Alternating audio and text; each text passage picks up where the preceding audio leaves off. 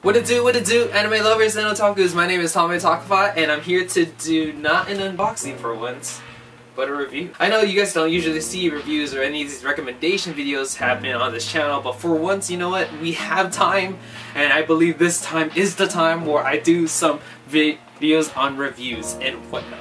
I, I just wanted to get this video out there because I think this manga deserves some some recognition. Not saying that it's like best manga ever, or it's like top manga that you have to read, or the worst in general, but this is gonna be probably one of my favorites for the reason that it's short, sweet, and direct.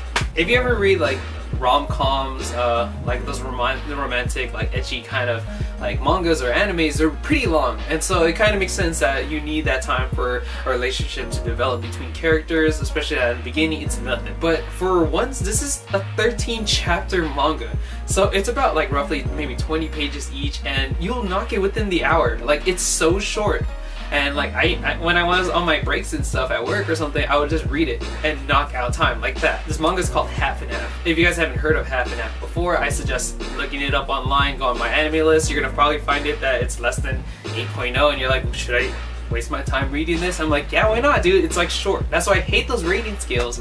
But besides the rating scales, let's get back into this manga real quick. Half and half. Okay, summary. Short summary, sweet man, girl, right? This man and girl, boom, they both die somehow, right? They end up in this realm where it's kind of like you. so this, I'm assuming it's God, and he's like, hey yo, you got seven days to choose which one of you guys will die because you both technically died, but one of you guys have a second chance to survive, and that's it. That's all you need to know.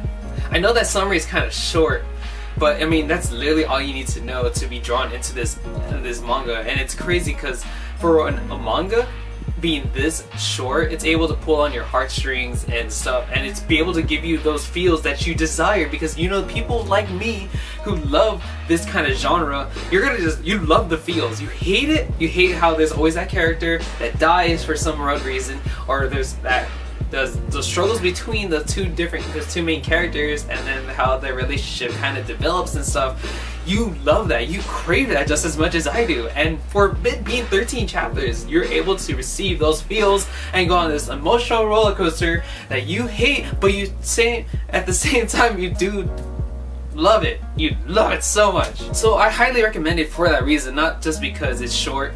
Well, I mean, that's also like a huge plus. It's short, sweet, direct, and you get that development in 13 chapters and it's not rushed. It doesn't feel rushed for a manga being this short and it's something that it's like, damn, you know what? You did it justice. You did it justice for this amount, for all these reasons, and all of this, you're able to pull on these damn heartstrings. Um, this is one of my recommendations. Uh, if you guys don't remember and forgot the name already, it's half and half. So my name is Tommy Takafai. Suggest you guys read some more mangas. Laters. Senpai, please subscribe to the Otaku Friendship!